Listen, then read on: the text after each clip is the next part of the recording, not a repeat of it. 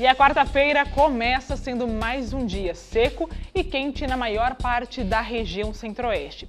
Existe apenas uma pequena chance de chuva em partes aqui do estado sul-mato-grossense.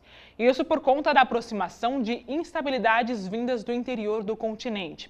Associadas, é claro, a uma nova frente fria ligada ao ciclone formado no Rio Grande do Sul. E agora vamos ver como ficam as temperaturas na região? Olha só, 35 graus em Rio Negro, faz 25 em Cristalina e 35 em Colíder.